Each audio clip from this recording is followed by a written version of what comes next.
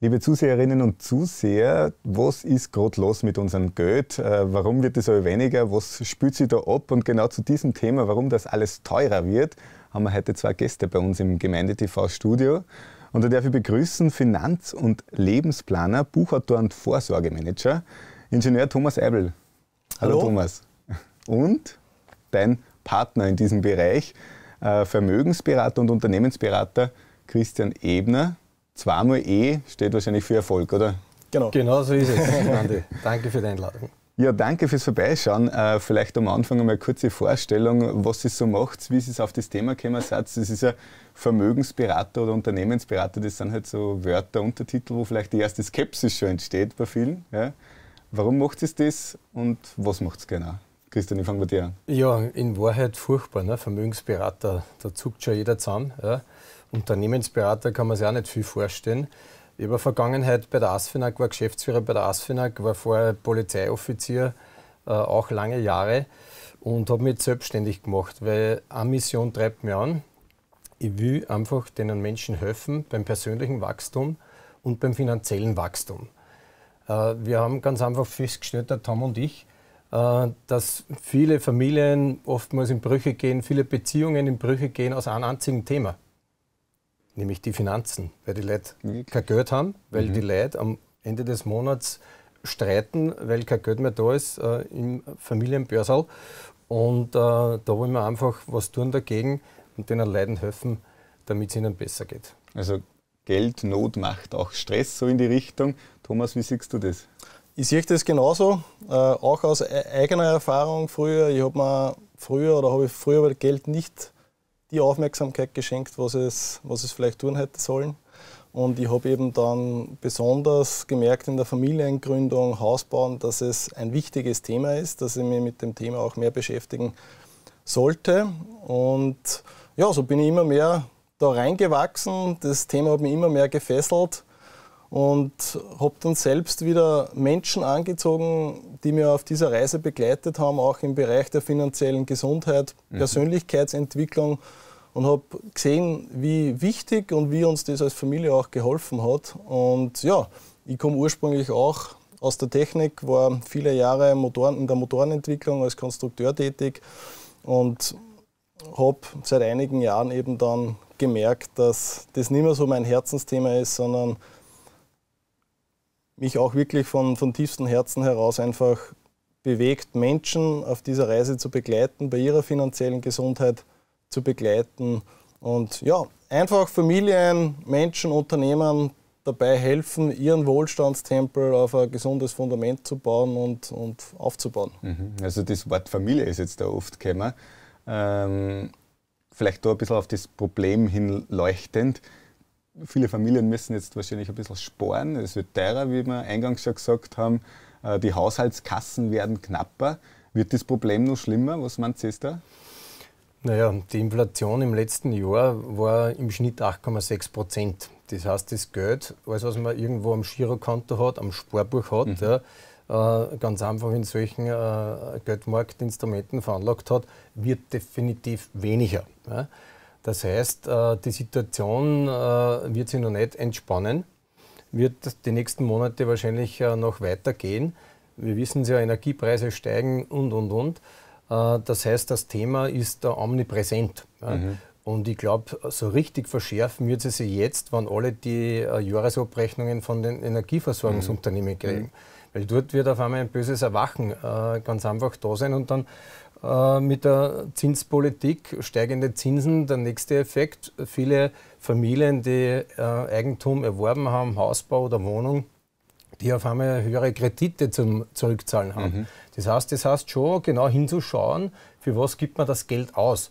Und da natürlich sind auch wir äh, mit unserem Thema Finanzplanung, Lebensplanung jetzt schon am Puls der Zeit, um den Menschen zu helfen beim Sparen und äh, damit sie von dem, was verdienen, auch noch wirklich was bleibt, um dann auch in sinnvolle Lösungen zu investieren, wo das Geld nicht weniger wird, sondern das Geld eben mehr wird, dass ich zumindest die Inflation ausgleiche. Ja.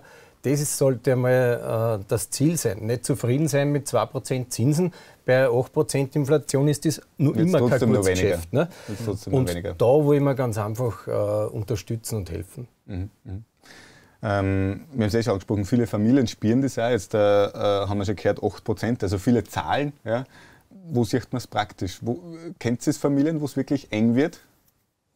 Ja, durchaus auch im, im, im, Freundeskreis. Und natürlich merkt man es auch im eigenen Börsal, wenn ich das letzte Jahr jetzt äh, mir rückblickend anschaue, dann hat man jetzt erheblich mehr Kosten wie vor einem Jahr. Und äh, das stärkt uns, glaube ich, auch nochmal ganz äh, besonders in dem Thema, da jetzt einfach nur mehr zu begleiten, weil man jetzt auch sieht, wie wichtig das ist, auch finanziell gesund zu sein, finanzielle Reserven zu haben, um so schwierigere Phasen, wie wir es jetzt gerade erleben, dann auch mit einer entsprechenden Balance durchzuleben. Ja. Mhm. Jetzt äh, bietet es eine Lösung an, eine kostenfreie Lösung mit den mit die Online-Seminare, mit der mhm. Vortragsreihe, was ihr da jetzt da habt. Wir gehen da gleich drauf ein. Wie, jetzt ganz blöd gefragt, wie kommt das an? Also wenn Familien schon so knapp sind und mhm. dann kommen zwei daher und wollen mir erzählen, wie ich mein Leben auf, auf, ja. auf die Reihe kriege. Geht das so? Ja, das ist ja das Thema. Ne? Jeder glaubt immer, äh, wenn er hört, Vermögensberater oder Finanzberater in, in dem Bereich, der will mir jetzt das letzte Geld auch noch äh, wegnehmen. Ja, genau. ne? Das wollen wir eben nicht, sondern mhm. wir wollen schauen, dass es mehr wird. Ja? Wir wollen da wirklich unterstützen. Wenn du heute ein Thema hast, äh, ähm, gehen wir in einen anderen Bereich und du brauchst da Unterstützung, ja, dann, dann nimmst du einen Psychologen. Ne? Oder du gehst zum Arzt. Ja? Du gehst auch wohin und, und holst dir fremde Hilfe. Ja? Und gerade beim Finanzthema, das ist so ein Tabu, da will man das nicht. Ne? Mhm. Ne? Da will man nicht drüber reden. Man will immer noch nicht drüber reden. Ja, da habe ich einen Kredit, da habe ich das mhm. zum Zurückzahlen, da habe ich diese Kosten oder jene. Äh, über das redet man nicht gern. Mhm. Wir bieten einfach an, im Vertrauen hier wirklich, wir nennen es auch so, finanzielle Gesundheitsberatung, mhm. schauen wir sich das miteinander an. Mit unserer Webinare wollen wir ganz einfach kontinuierlich äh, das Wissen der Menschen äh, erweitern. Ja. Investition in Wissen bringt noch immer die besten Zinsen, äh, mhm. äh, hat Franklin schon gesagt. Ja, genau. Frank ist nicht von uns der Sager, sondern von Benjamin Franklin. Ja.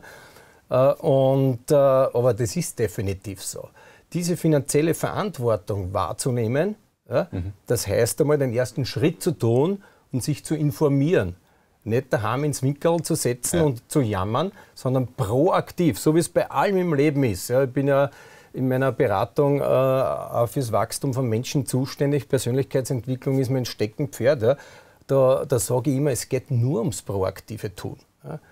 Nicht die Schuldigen überall suchen, sondern ich bin selber für meine Situation verantwortlich. Und ich kann aber jeden Tag was dagegen tun oder dafür tun, ja, dass es besser geht.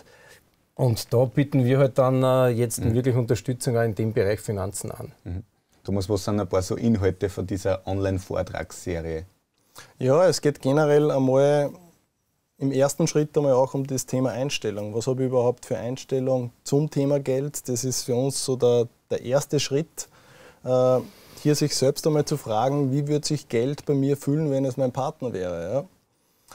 Okay. Und dann natürlich auch über ein paar Strategien, Möglichkeiten, äh, Systeme, die wir vorzeigen, wie man sinnvoll eben sich auch finanzielle Gesundheit schaffen kann, bis hin dann eben auch über eine kurze Marktanalyse, einfach sich die Sachen anschauen, Unterschied zwischen Fonds, Aktien, was gibt es noch, Immobilien, da ein bisschen einen Überblick äh, zu bekommen, um einfach einmal eine Basis zu haben, selbst auch äh, fundamentale Entscheidung treffen zu können für die eigenen Finanzen. Mhm. Also das Geld als Partner, das war jetzt ein spannendes Stichwort. Das habt ihr auf der äh, Website irgendwo draufstehen. Geld-Mindset oder mhm. Persönlichkeit führt, Geld folgt. Was, was meint da konkret damit? Was, wie kann man das praktisch ich, umsetzen? Ich habe einfach gelernt, dass Lebensqualität und Wohlstand sehr viel mit meiner Einstellung zu tun hat. Und äh, das habe ich lernen dürfen von wieder anderen Unternehmen. Und ich habe gemerkt, je besser meine Einstellung zum Thema Geld ist, äh, dass ich es jetzt nicht als was Negatives abstempel, sondern als etwas Gutes, mit dem man auch Gutes bewirken kann, umso besser ist es mir auch mit meinen Finanzen gegangen. Mhm. Und das meinen wir da ein bisschen vom Zugang her. Mhm. Vielleicht darf ich das an zwei Glaubenssätze ja. noch äh, verdeutlichen. Wenn ich jeden Tag sagt, sagt, Geld verdirbt den Charakter, dann habe ich ein Problem. Wenn ich aber jeden Tag in der Früh sage, ich bin reich, ich bin wohlhabend, ich ziehe Geld magisch an, ja, dann ist das ganz was anderes. Ja. Bei dem einen, Geld verdirbt den Charakter oder Geld macht nicht glücklich, äh, da hemme ich schon den Geldfluss zu mir. Das sind ganz normale Naturgesetze. Bin ich positiv oder negativ? Wie ist mein Blickwinkel? Geld ist super. Ja? Natürlich äh, ist es vielleicht äh, nicht das Wichtigste im Leben. Nur eins kann ich schon sagen. Für den, der am Monatsende kein Geld mehr hat, dass er sich was zum Essen kaufen kann, und da sind wir jetzt wirklich beim Armutsthema, für den ist Geld essentiell. Mhm. Und da kann man nicht sagen, der Geld macht nicht glücklich, weil wenn ich keins habe, ja, dann, bin ich, äh, dann bin ich zutiefst unglücklich. Mhm. Und das ist damit gemeint. Ja. Ich, ich brauche so dieses positive Mindset äh, zum Thema Geld und auch zu dem Thema wird es im Webinar was mhm. geben. Also ganz ein spannender Ansatz. Äh, einen Punkt habe ich mir dann noch aufgeschrieben und zwar, wenn man jetzt eh schon knapp bei Kasse ist oder fast nichts am Konto hat und äh, es heißt, aus dem Geld mehr machen, wenn nichts da ist, wie kann man mehr machen? Passt es für diejenigen auch? Ja, natürlich. Es ist äh, immer so, einmal Wissen ist die Voraussetzung für, für Tun, für Maßnahmen, dass ich Maßnahmen ableite. Viele Leute geben ja wirklich Geld aus für was, was vielleicht äh, äh, nicht Sinn macht. Man kann auch das analysieren, die, die Kosten. Ja. Auch für das sind wir da, den Haushaltsplan sich einmal anzuschauen, zu durchleuchten, wo kann man sparen. Und es ist auch in ihr Glaube zu glauben, nur die Reichen können sparen. Nein, ich habe viele, viele erlebt, die viel Geld verdienen, und aber kein Geld haben, mhm. weil sie das Geld auch rausschmeißen beim Fenster ja, und gar nicht überlegen. Im Gegenzug ist wieder so, reich macht dir nur das, was du behältst von dem, was du verdienst. Ja. Mhm. Und, äh, und wenn es nur 10% sind und ich 10 Euro pro Monat auf Zeiten lege. Mhm. Der Zinseszinseffekt, auch den werden wir beleuchten im, im Webinar, ist das achte Weltwunder, hat der Einstein gesagt. Ja.